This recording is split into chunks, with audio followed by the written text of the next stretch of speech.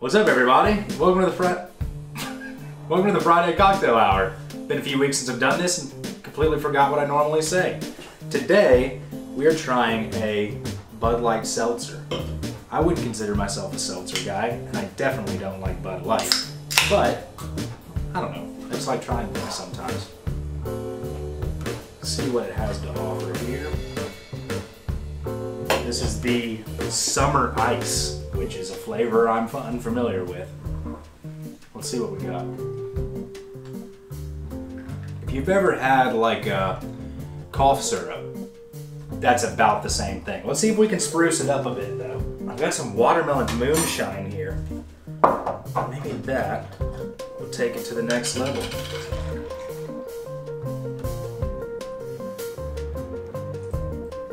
It didn't. Have a good Friday.